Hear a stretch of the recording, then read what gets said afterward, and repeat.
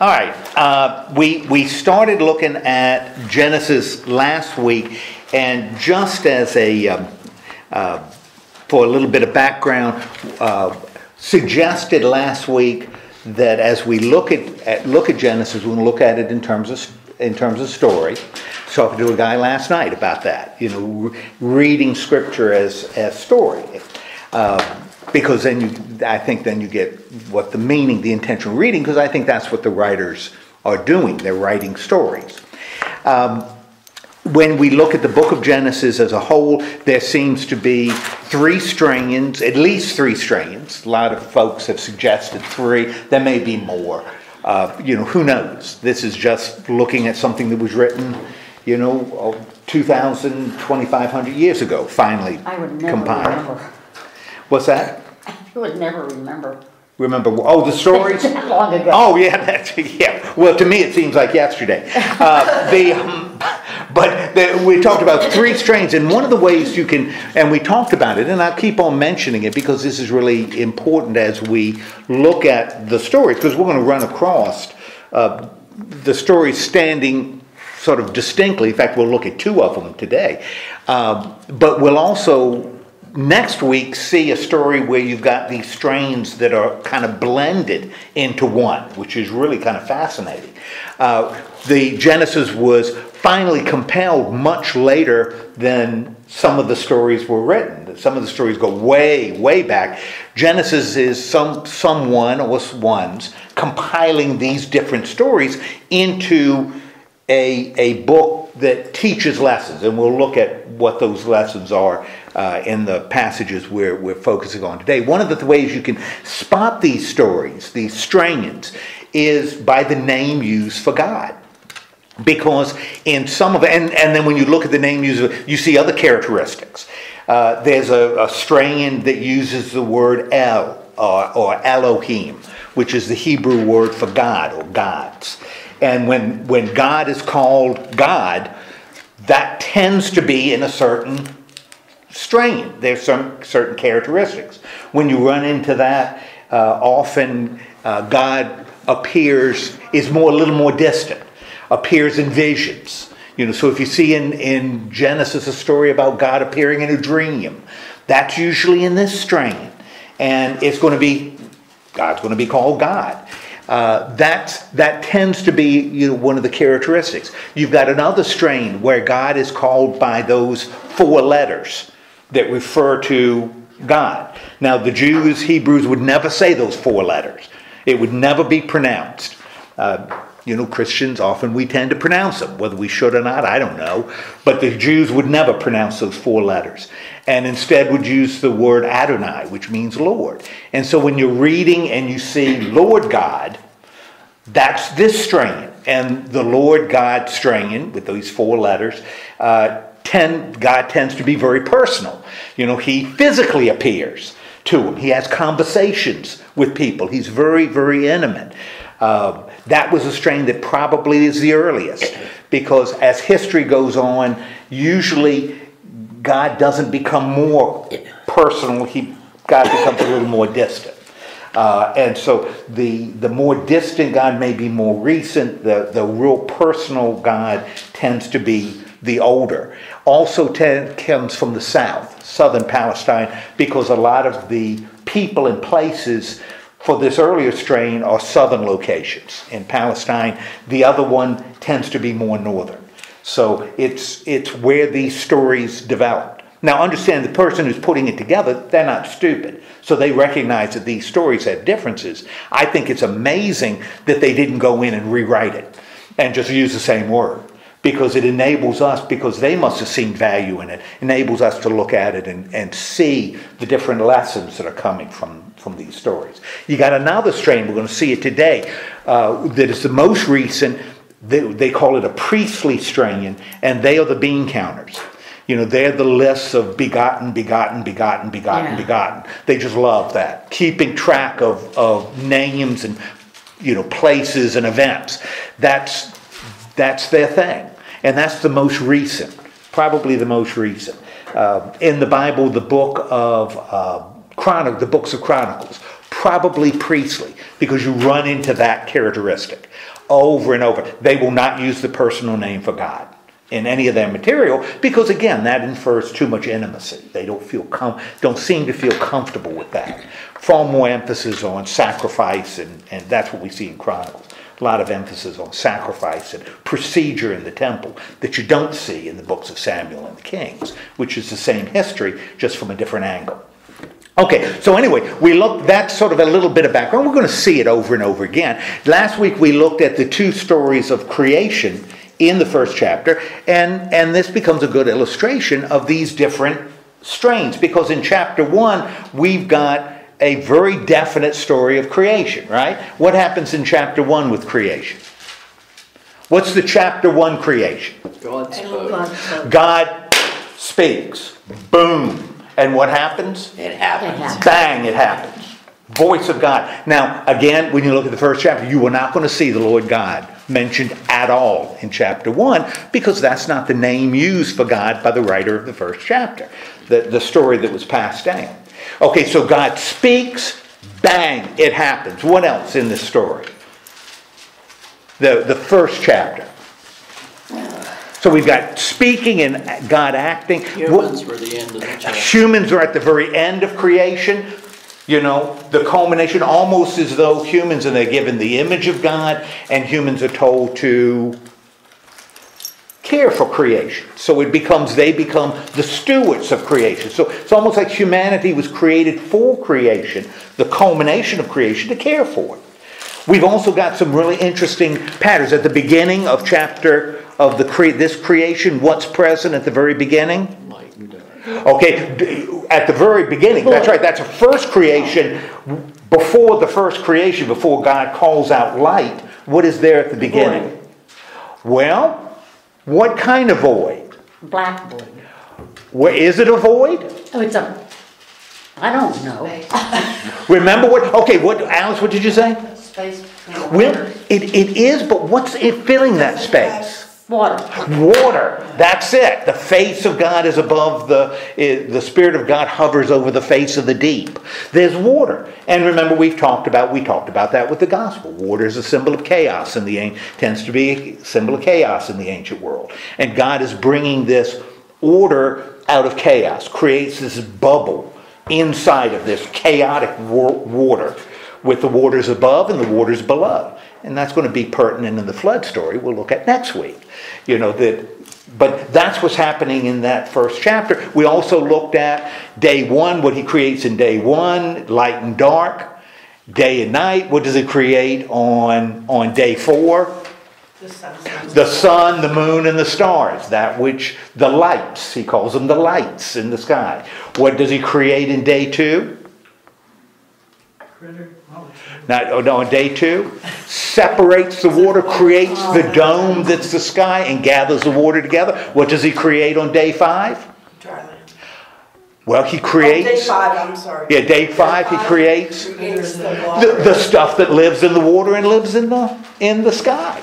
So, day one, light and dark. Day four, the lights in the sky. Day two, the sky and gathers the water together. Day five, that which lives in the sky, the birds and what lives in the water. Day three, The now the dry land and vegetation. And what does he create on day six? The animals. animals that which lives on the dry land. So, you know, we've got this, we've got this pattern inside of, of this created order that I don't believe is an accident. And because it's too, almost you'd say almost organized, too mechanical, which is conveying, the writer is conveying what to his audience? Our God is is an organized God. It's not just random things on happening. There's a structure to creation and there's a structure to God.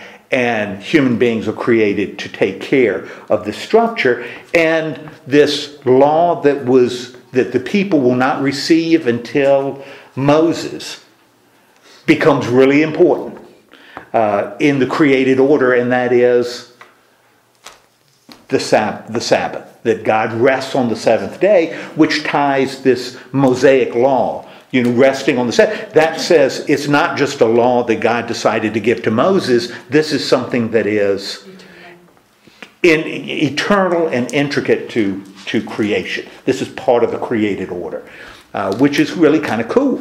But that's what the writer is, is communicating. Now, that's in the first chapter. Again, God is called Elohim, it's called God, or actually gods, because that's plural.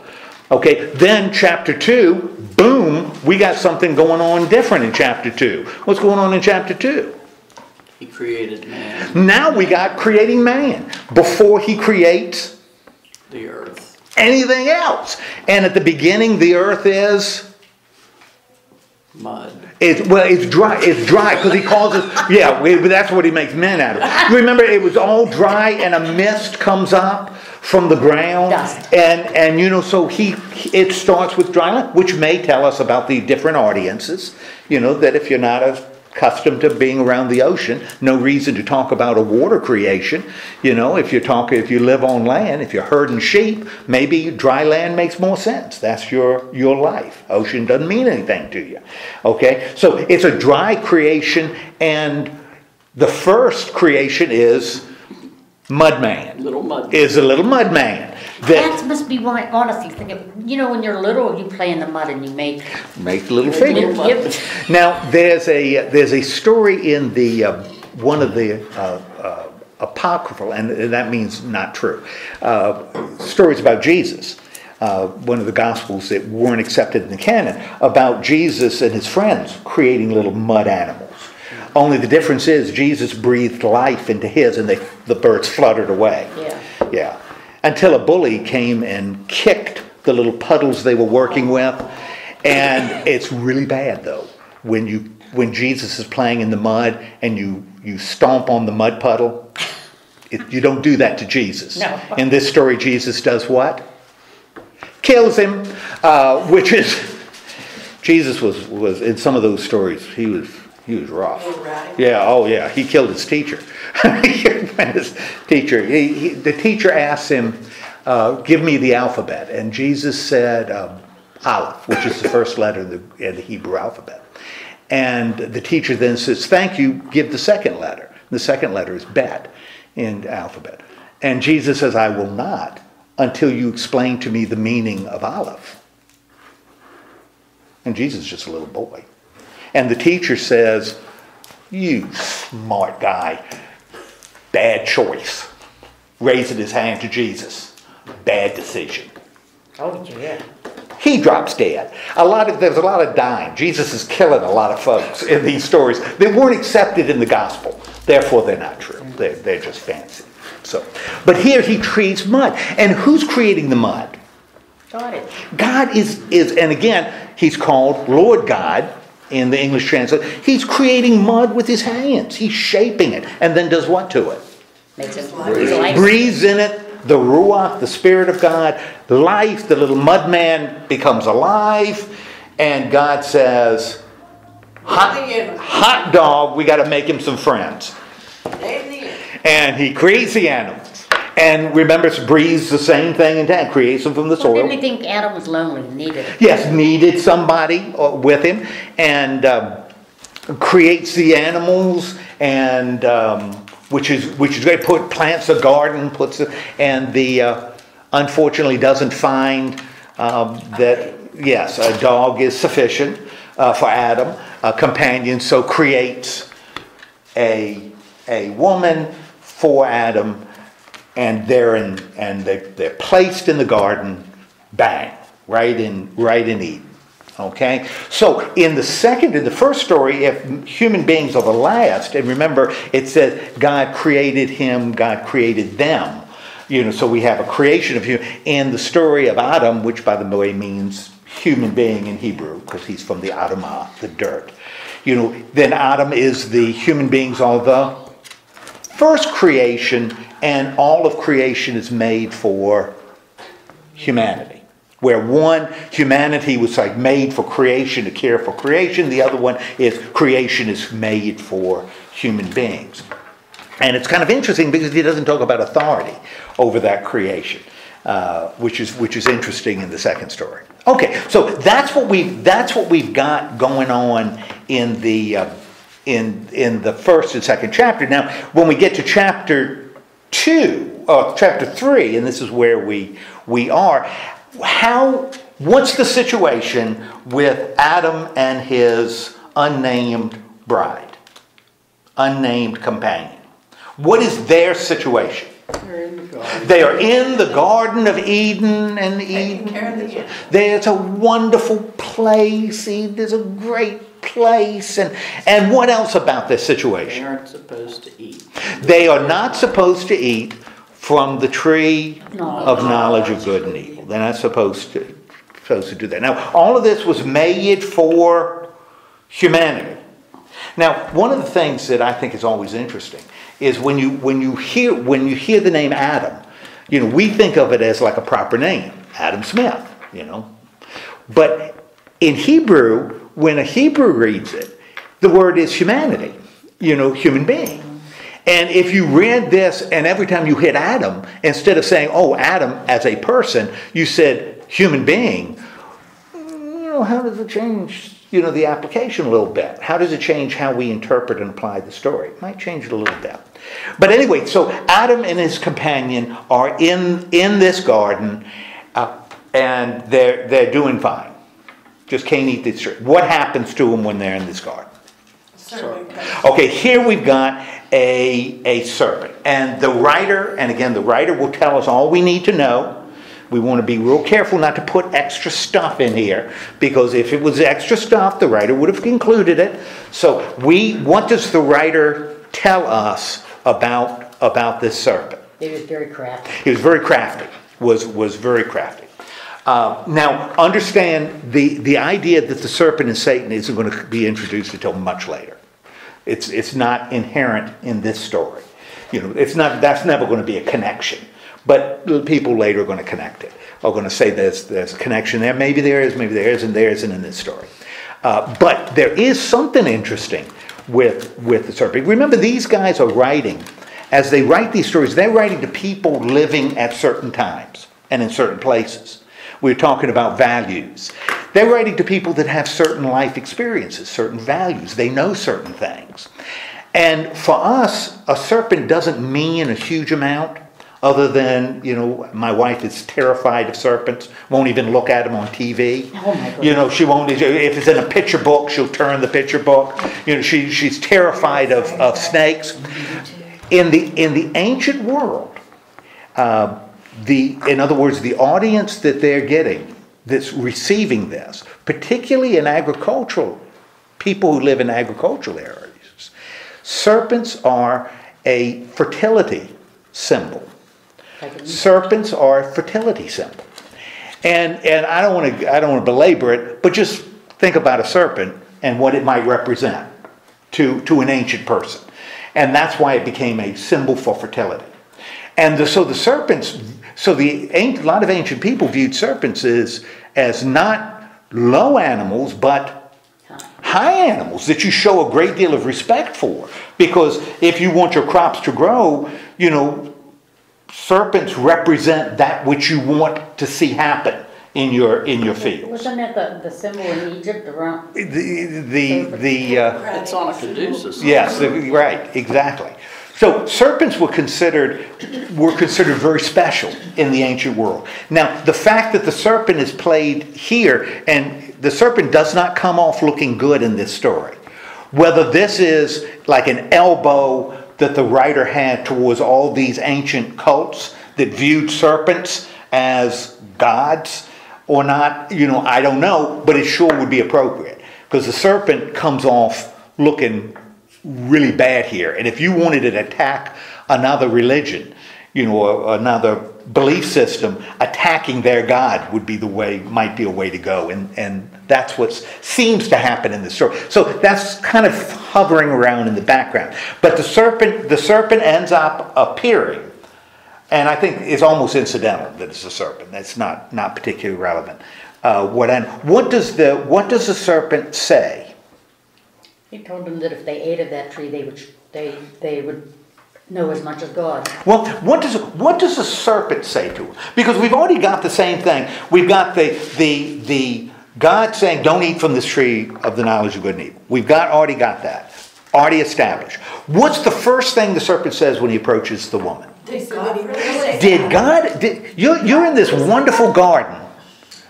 Did, did God say, you shall not eat of any tree in this garden? Okay? Did, did God really say that? Now, what is, what is the serpent doing? Because we, the writer's already told he's crafty.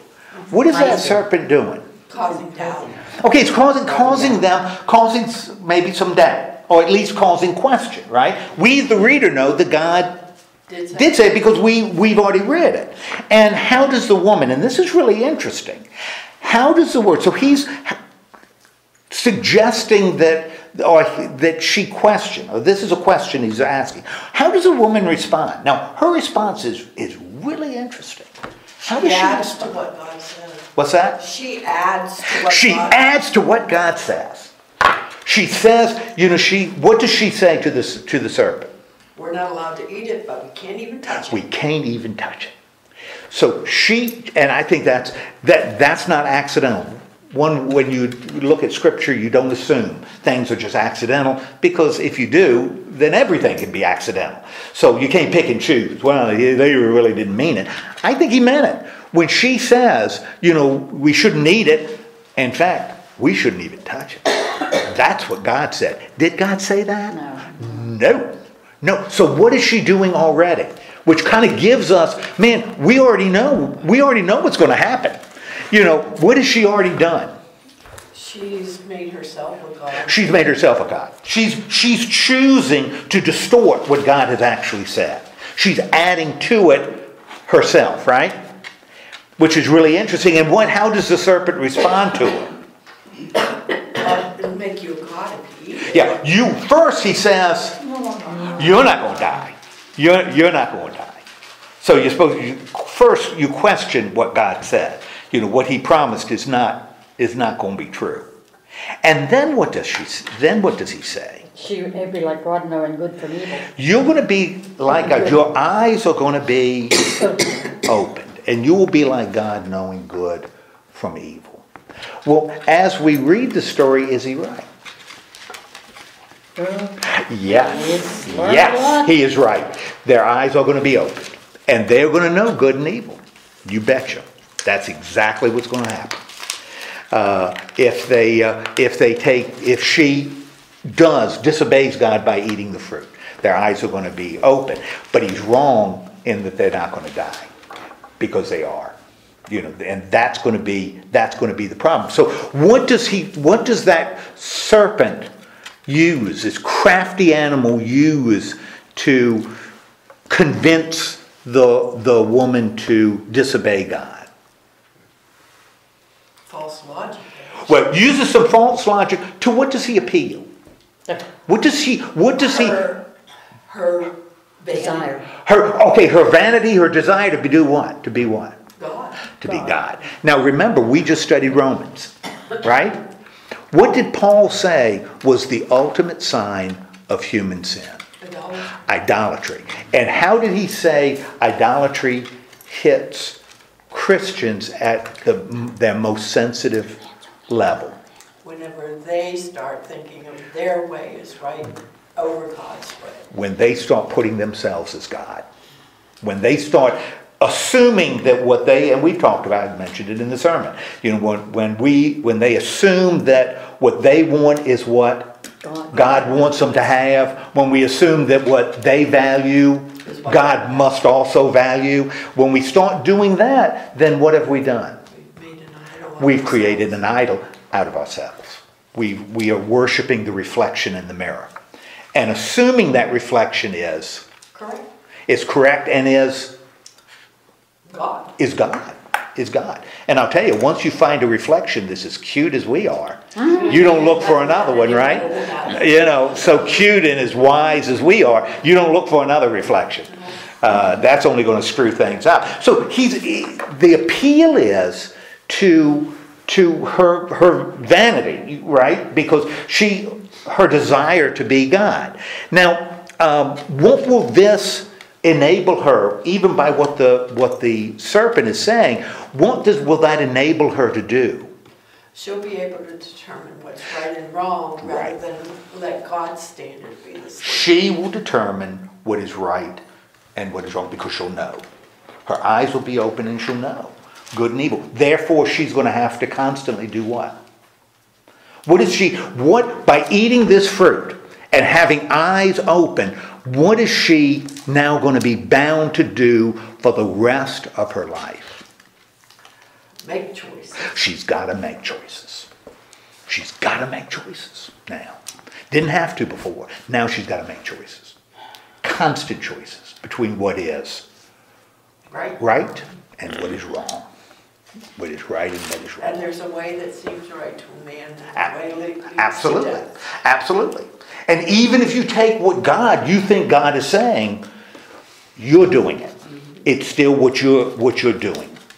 So this is, in a sense, then she's getting, she's acquiring power over herself and the world around her. You know, this is what's, what they're gonna have by having the eyes, her eyes open.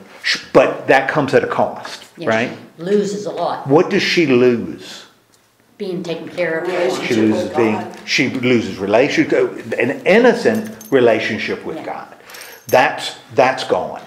You know, because now she can see the world, the world around her as it is. Okay? Now, when you think about, that's why I wanted you to think about this in terms of using the word human. How does this relate to humanity? What, what is this story pointing at with us as, as or ancient people when they read it? What is this story about? We have to make choices. It's about humanity. That we are, for whatever reason, we are bound to make Choices. choices, constant choices. That's the human condition. Making, constantly making choices. A lot of people have read this and said this is where humanity grows up uh, when she eats the fruit. Because now human beings are moral creatures. They aren't before. They are now moral creatures because they have to choose what is true and what is false, what is right and what is wrong. So now they've got the thing that a lot of Christians will say is, is incredibly important, will argue. To, now, once they eat the fruit, humanity will have what? Freedom. Free will. Humanity will have free will. They don't have any innocence left. That's it. They when you you you sacrifice the innocence when you But don't can't you be innocent anymore. You have to make, they had to make the choice every day to continue to believe God, continue to believe God, what God said. Mm-hmm. They make that choice every day, and then they chose not to believe what What, what. I, I think what the what he's what he's suggesting is that wasn't a choice that they had to make at all. Before the tree, there was no choice. They didn't have to choose to trust God. They just did. They had to choose not to eat. Well, they just ah, yeah, that was part of the created order that you've got this this this thing. But it wasn't as soon as they as soon as they see this difference between good and evil, because before there's only good. You know, there's you're not choosing what is right and what is wrong because everything is Good. Right. is right. Everything is right. Which I think is also tied to, and I think that's, you know, I told you last week I do a, used to do a workshop of the Bible in 90 minutes. Mm-hmm. You know, that's what I, that's, that was my point, that the, you look at the whole canon as one story, that the end, in Revelation, in Paul's description of the recreation, is sort of a restoration of Eden, where you, you don't have a choice to make. There's, there's absolute freedom because we don't have to choose. We're not bound to making that choice between good and evil because the only possible, the only possibility is Good. good because evil is gone. And so the whole scripture is going back to, from Eden to recreated Eden. So, uh, anyway, that's, I think that's a good, bib- good biblical flow. There are other ways to interpret. Anyway, the, so, so we've got the woman loses, di- and, and this is now this choice that she has, which kind of violates, you know, the, this innocence. She ends up doing what? Giving it to Adam. Well, first she says, Choosing "It- it is good to To eat. eat it. It looks good, it's a delight to the eye. The tree is there to make you wise, which is true, which is true. And so she took the fruit And she ate it. And before, you know, if anybody wants to lift Adam up too high, you know, it took some convincing to get the woman to do it. How much convincing did it take Adam to do it? Not much. Nothing. Nothing.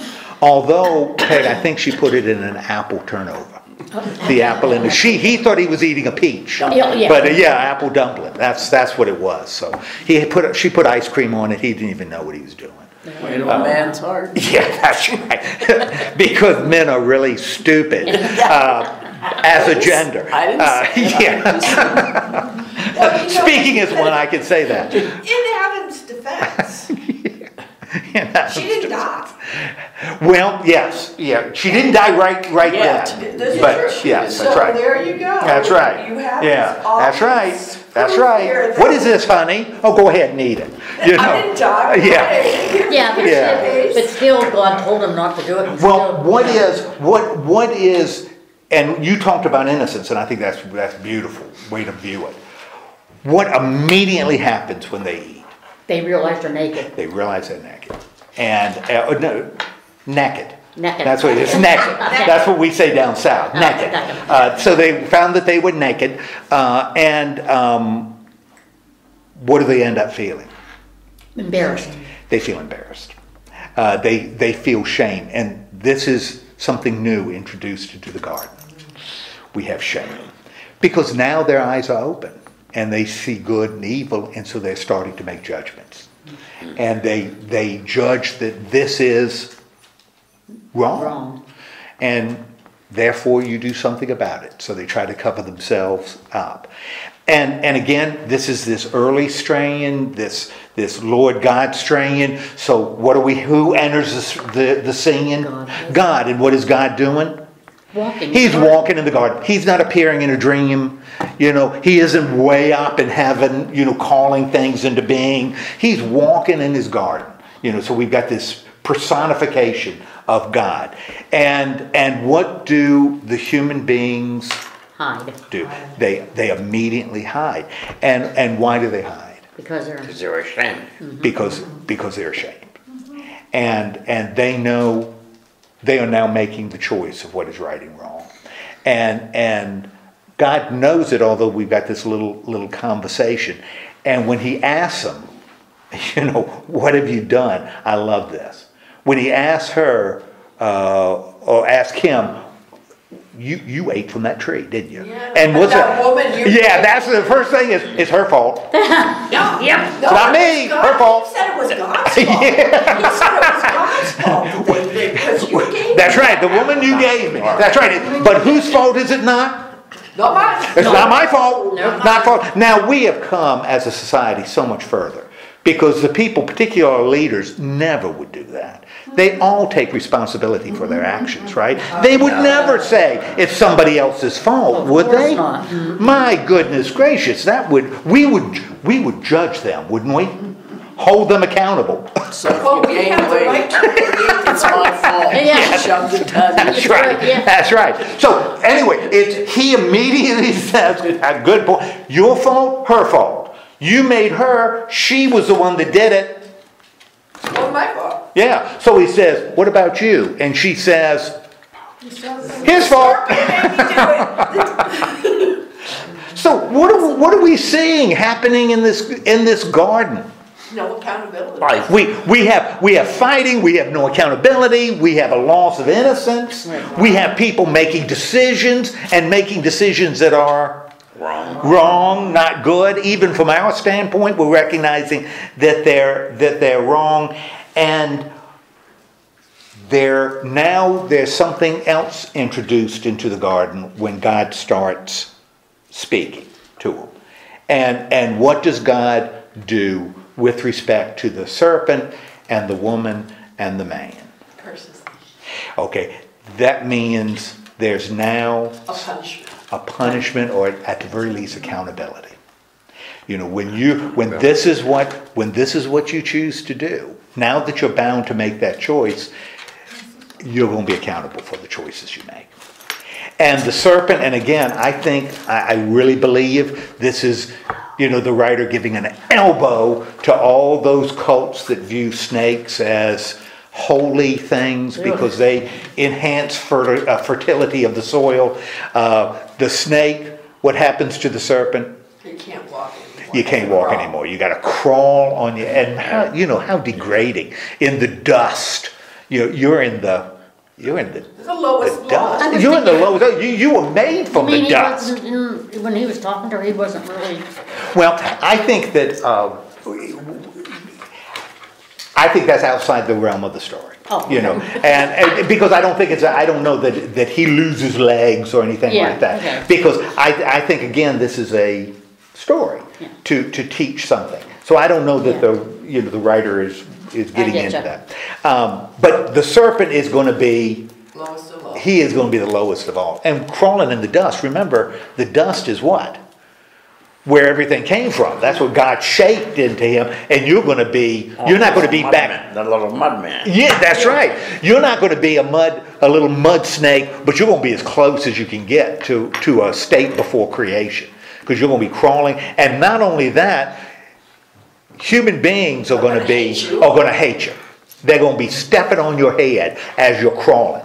Now, boy, this is, if, if he wants to kind of attack, you know, these, these agricultural cults, he's, he's not doing a bad job of, of really knocking down their, their God. But the most pertinent is what he says to human beings. And what does he say to the woman? He will greatly increase her pains in childbearing. You're gonna, you're gonna hurt to have babies. Babies are not gonna be, are not gonna be easy. And uh, in spite of the fact that um, a, a lot of uh, women don't believe that men can identify, am I not right? Am I right, Van? Can, we can't identify with the pain women go through through we childbirth. cannot. Yeah, well, I, I, I think I can because I had this splinter once that was, it, man, it was really, it really hurt. Uh, so I'm, I'm thinking I can identify, you know, with, uh, I had the flu last year and it was pretty bad. Have you ever had a kidney stone? Yes, I have. Yeah, there you go. I've had two, yeah, so I can, I can kind of identify a little bit. Did Uh, they make you pass it or did they zap you? They made me pass it, yeah, yeah, they made me pass it. So I delivered a bouncing baby, but my kidney stone was, was, was Sure, tiny. it's a- Yeah, it didn't, it didn't weigh five pounds, that kidney stone.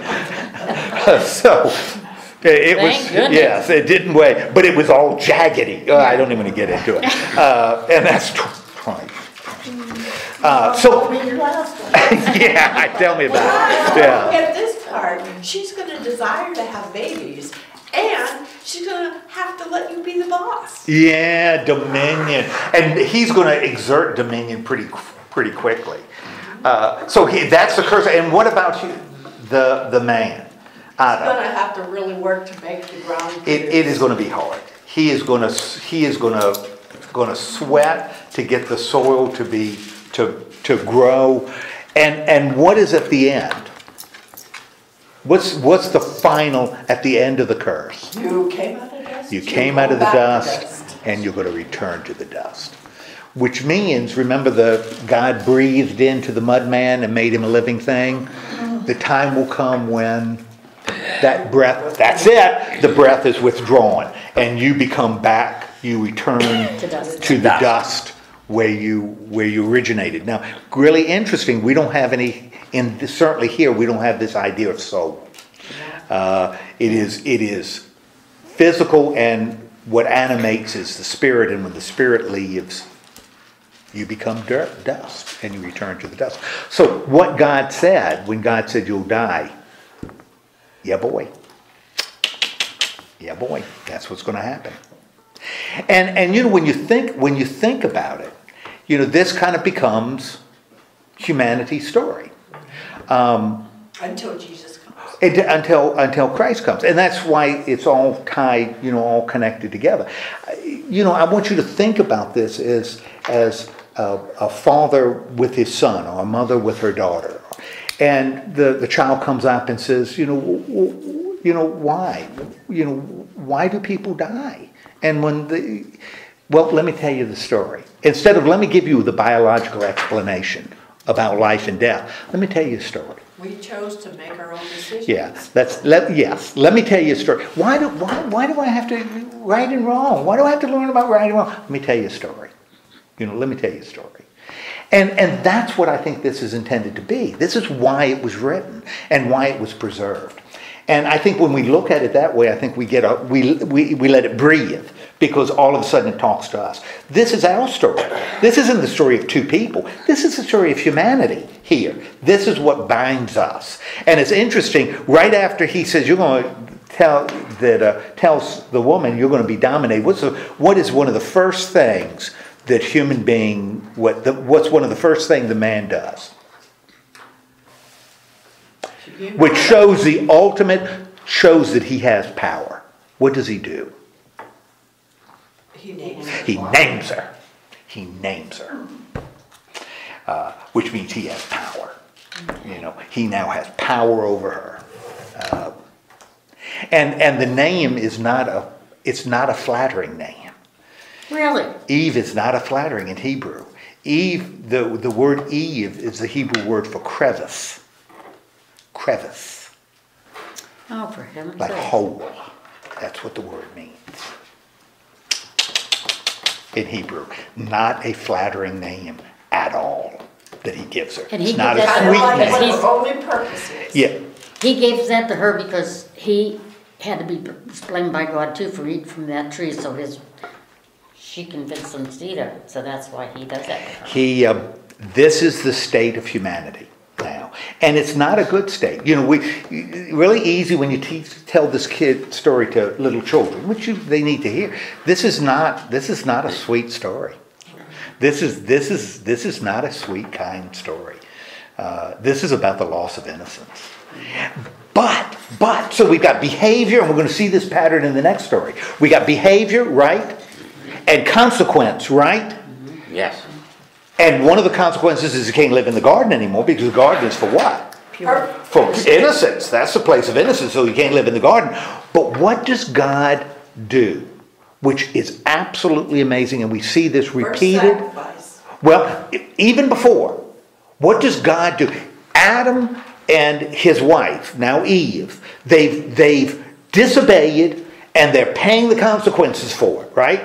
And shame is introduced into the into hum, humanity. What does God choose to do? He banishes them. Well, he banishes, so you can't live in Eden anymore. You, this, you cannot live in the garden anymore. Because remember, he told Adam, you gotta work the ground. You gotta eat from what you grow. What does else does God do? He makes them clothes. He makes the them clothes. Well, he makes them clothes. Now, we're gonna see that again, you know, in the story, of, in the next story we look at.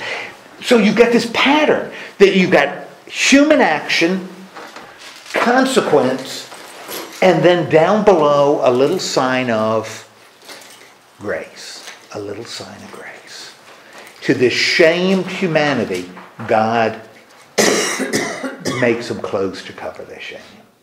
My gosh. To take away some of the embarrassment. Some of the embarrassment, He makes them clothes. But he still cares for them, that was so, you Right, know. that's exactly right. So we don't have, this Lord God in this story is not presented as this distant, unattached, but we've got a God who intimately cares about those, the creatures he made. Now immediately we're thrown into the next story. And what happens in the next story? And humanity, if humanity, Adam and Eve are here and what they did, humanity is going to slip a little bit further.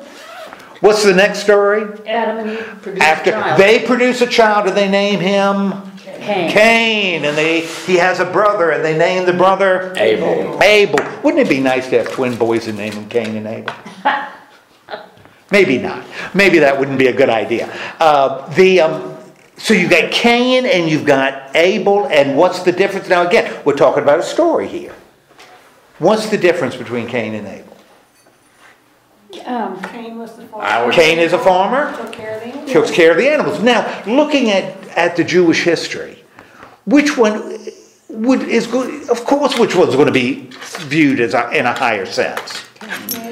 Of- of- with- because he's the oldest. I mean, with the, how did Abraham make his living? He was he had sheep. He was a shepherd, right? Yeah. How did Isaac make his living? He was a shepherd. How did Jacob make his living? He was a shepherd. So which one is going to be better? Duh, the shepherd's gonna be, the shepherd's always portrayed as better. You know, the herdsman, you know, than the, than the farmer. Remember, he's just trashed the one of the fertility gods of farmers in the story of Adam and Eve. So you've got Cain here growing crops and you've got Abel, and what ends up happening with Cain and Abel? They fight. Well, they, before they fight, what becomes the purpose, the focus of that fighting, their disagreements? Jealousy. Well, what, what's the basis of the jealousy? God accepted it. Okay, bang, you got Cain and Abel both making an offering to God. That's a good thing, right? Both making an offering of God, but the offering of Abel Yeah. is, Good to God. has, is, is received in high regard, but not the offering of Cain. Now, why is the offering of Cain not received? I don't know when we've understood that. good. I do too. Because I don't, and I think in the story he never says, which means we're not supposed to know. He never says, oh, but Cain's motivation was bad, or Cain's attitude was bad, or da, da, da, da. You know, Abel was a good guy, Cain was a stinker. You know, doesn't say that. Which is actually really powerful and profound. Because, you know, as we live our lives, things happen, good and bad things happen. They just do. It's not because we're better, you know, than them, therefore good things happen to us. Because good, bad things happen to good people. People, yeah. And you know what? That's part of living in the world. And for reasons that are never expressed, one offering is accepted and the other one isn't. That's just the way it is. That's just the way it is. How we react to it becomes really important, doesn't it? And how does Cain react to this? And remember, we're not talking about, he's not being cursed. God isn't making him, his life harder. Doesn't say that. Just that his offering wasn't ex- held in as high regard as Abel. But that causes Cain to feel Angry. angry and, and Jealous. and jealous, right? He becomes jealous of his brother, right? And what does the, the Lord say? And again, we've got this personal God who is talking face to face, you know, so it's not in a dream or anything. Face to face, what does the Lord God say to Cain? He wants to know why he's angry. Yeah, why are you angry? You know?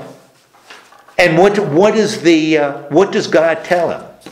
If you do right, will you not be accepted? if you do right. So it's it's not about the stupid offerings. You know, if you do right, you're going to be accepted. But understand, since your mom and dad now have their eyes open, as do you, what is always lurking? Sin. Sin is always lurking at the door. Always lurking. So what is God challenging now that he has to Cain has to choose good and evil? What is God challenging him to do? Now the Cain has to choose between what is right and what is wrong, what is good and what is bad. What is God challenging him to do? He has to master the sin. Yeah, choose choose what is good. Choose what is good, right? That's what he's that's what he's challenged to do. Now that you got to make the choice, make a good choice. And Cain says, "Thank you, Lord," and then does what? Kills his. Goes out and kills his His brother. brother. You know, goes out and kills his his brother, um, and and kills him in a in a horrible. You know, let's you know, it's like a mob hit. You know, get into the car. You know, let's go out to the field. You know, and he kills his brother. And how does God respond? He asked him where his brother was. You know, where where is your brother? And Cain's response is I'm not my brother's keeper. I don't know. I'm not my brother's keeper.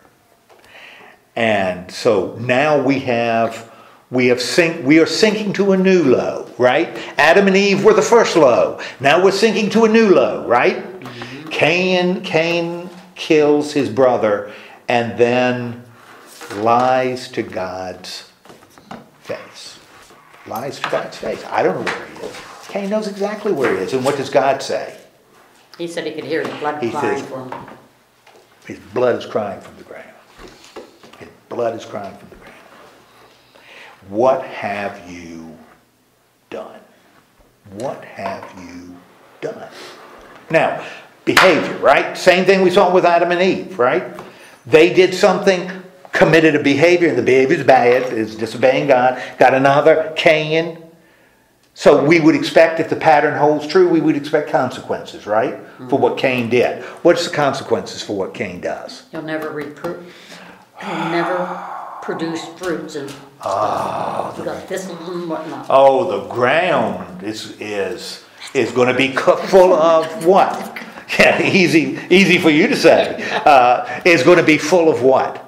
What's, what's the ground gonna be full of? It's gonna be full of weeds. And thistles. Yeah, I mean, most farmers know that their fields, they have to do something about the weeds, because weeds always grow better than Oh, yeah. than plants. Yeah. Lord have mercy. When you have a garden, weeds always grow better than the stuff you want to grow. Uh, and that's the way the world is. That's, that's what, again, imagine talking to a child. Well, you know, why, why do tomato plants grow, don't grow as well as these horrible weeds? Well, let me tell you.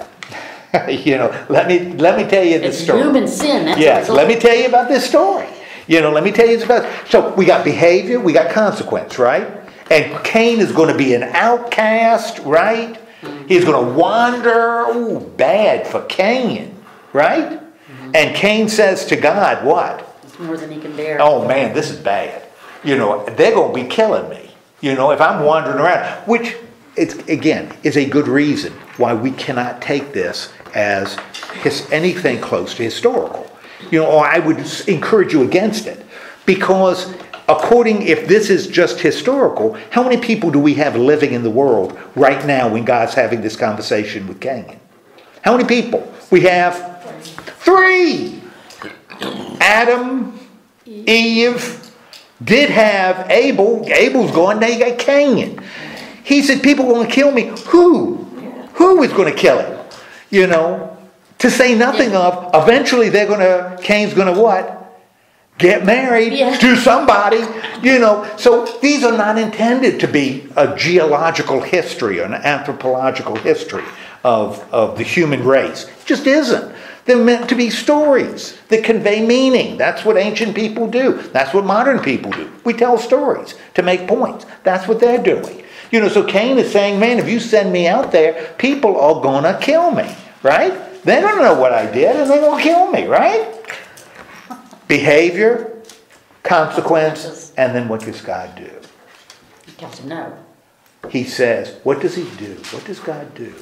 to Puts a mark on Cain. He puts a mark on Cain. And later, this mark of Cain is going to be viewed as a huge negative, or, or we said view mark of Cain, but it's not. What does that mark do? Keeps people from killing. Keeps people from killing. So we've got the same pattern, right? Human behavior, human sin, consequences for their action, sign of divine grace. Some sign of love that doesn't negate the consequences, but sort of mitigates them a little bit. And we've got the same thing happening here. We've got human action, murder, you know, fratricide, divine punishment, consequence, Seven times over. and then a little bit of grace. A little bit of grace at the end. Okay? And what does Cain do? Lives on the land of the He leaves and goes, just like Adam and Eve, they go and live east of Eden. Oh, that wonderful Steinbeck book. They move east of Eden. Uh, so we've got this, these two these two powerful stories. Now, when we look at both of them having the same pattern, you know, human action, God, divine response, divine or consequences, divine love. Then when we get into the next chapter, what do we, the rest of chapter four and all of chapter five, what does that, what, what do we have here? We're not gonna go through all these details. We got, we got a bunch of them. Now, these are not, I don't think these are the priests, priestly stuff. We're gonna get that a little bit later, here, chapter five. But we've got some key names. And just to highlight a few, we got a guy named Enoch. And this is how, you know, the race develops. What makes Enoch special? For one, they're living a long time, these guys. What makes Enoch special? And he's going to be in his, a, a fairly important figure later in Scripture, particularly for the Jews. Does Enoch die? Mm, I'll tell you. No, he doesn't. He walks in and he, he, God takes him. So Enoch never dies. Now that's going to be really important because Enoch and Elijah don't die. And there's going to be a lot of much later when they start talking about prophecy. You know, Enoch at the end, the end times, you know, when the world ends, Enoch is going to become a big figure that he comes and, and tells people about the end because he never died. You know, God took him into heaven. So he becomes an important, kind of an important prophetic, apocalyptic figure. We got Methu- Methuselah. What about Methuselah? He lived forever. He lived forever. They didn't think he'd ever go. You know, he just hung around forever. Uh, what about his his little bouncing baby boy, Lamech? What makes Lamech important? That I don't know. He married two women. Well, he marries two women, which means he was, I don't know, a glutton for punishment. I don't know. Uh, you know, I, I don't know. You know, in big, you know, re- in, really big trouble on Valentine's was Day. blessed. Yeah, he was blessed. Yeah, I'm sure. Sure, I'd describe it that way. Yeah. The, um, um, but he does something even more important than having two wives. What does what does Lamech what does Lamech do? What does Lamech say? Or what does he, yeah, what does he do? First, he's a maker of tools, right? And again, we talk about stories, you know, what, he's the maker of tools, and one of the tools he makes is a sword. He makes them, and he uses it to kill, kill a man for wounding him. He kills, he kills someone. And Lamech says, you know, remember God said about God said about Canaan, what he said about Canaan, you know, Lamech says, God may be protecting Canaan, you know, but I can do it better. I can do it better. So we've got Lamech, we've got Jubal, and what does Jubal do? What does Jubal end up doing? Because again, these are stories to explain to people later why we have these things. Why do we have why do we have tools made of iron, bronze and iron? We got the story of Lamech develops. Why do we have musical instruments? Jubal develops, invents musical instruments.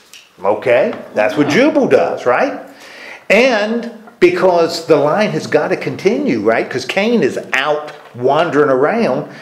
Adam and Eve have Seth. has Seth, a bouncing baby boy named Seth, right? Mm-hmm. Okay. Now, all of these are again to help explain, these are stories to explain why people, when they're reading this, have what they have. And then in the fifth chapter, boy oh boy, we got all kinds of stuff going on, right? This is the kind of stuff the priests get excited about. You know, now I think I'm going to do a sermon series on the fifth chapter of Genesis. Now, if I did that, is anybody going to attend those services? I would suggest not, because they're going to be really boring. Uh, the um, Summertime would be a good. yeah, summertime would be a real good time to do it. I, it, if you, um, this is the kind of stuff the priests like, because they like to get the names Yeah. and the generations down. Now, in the New Testament, we see some of this going on, a little bit. Um, and it, particularly in the first chapter of Matthew. First chapter of Matthew, the first 17 verses are beginning, you know, the, the generations from uh, Joseph to Abraham. That's what you have in, in, um, in Matthew uh, 1, uh, 1 through 17. Well, if you look at 1, 1 through 18, if you look at John, John 1, 1 through 18 is in the beginning was the Word, and the Word was with God, and the Word was God. This wonderful poem. Well, I was doing a children's program, youth program, Christmas program, in Watford City, North Dakota. And I had a young man who was a little nervous read, and I asked him if he would read from the Bible in uh, the part of the Christmas story. And I said, please read John 1 1 through 18. In the beginning was the Word. Well, he, he made a mistake. He read Matthew 1 1 through 18. And Matthew 1 1 through 18 is so and so begot so and so, so and so begot so and so. So one Hebrew name after another. And my goodness gracious. And when he started, I, I was sitting there and I was listening. I thought, "Wh- why is he reading this? And then it hit me. He turned to Matthew instead of John.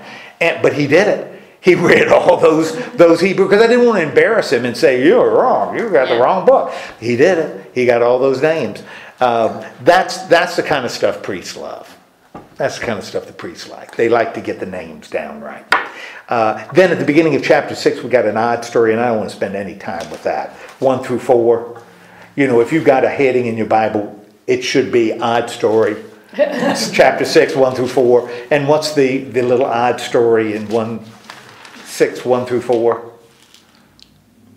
What's going on in that? Uh, Daughters were born. Oh, the daughters of, of, of the people and their, the Nephilim, which are the, the people that are in God's court, are coming down and mating with human women, and they're producing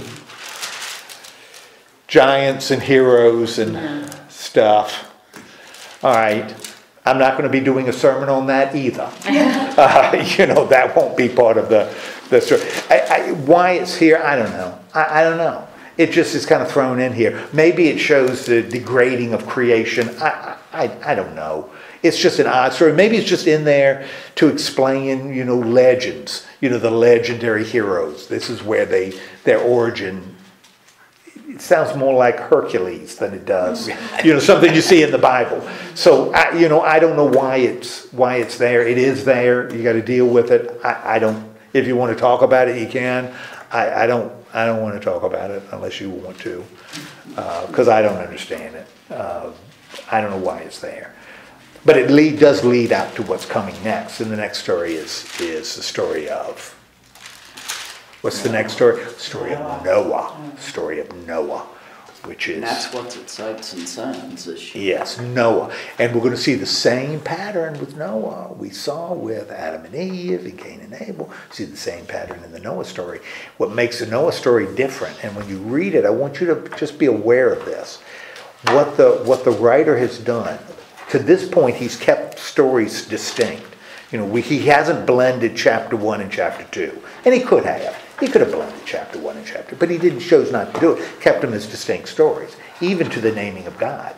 You know, this this whole business in in uh, chapter five with all these names. He could have blended that or softened it, but he didn't. He kept it distinct. What they're going to do is they're going to blend two stories in with Noah. We're going to have these two strands come, and it's going to be some. It's going to result in some very interesting things going on in the Noah story. So we're in six next time. So, yeah, next week, so we'll look at uh, chapter 6 uh, through chapter 8. So, chapter 6, 5 to 822, and it's going to be the story of the flood. And remember, the symbol of chaos is, in the ancient world, is water, is water. So the flood becomes really, really important. Can you imagine being hundred and eighty-two years old and have a child? I wanna have another one at forty. Hundred and eighty-two. You wouldn't want to be a mom? Oh, I Right love now? being a mom. Right now? No, No, no, no, no.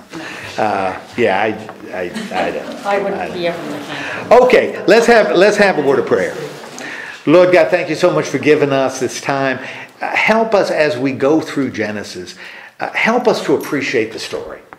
Uh, help us find the way that story might relate to us.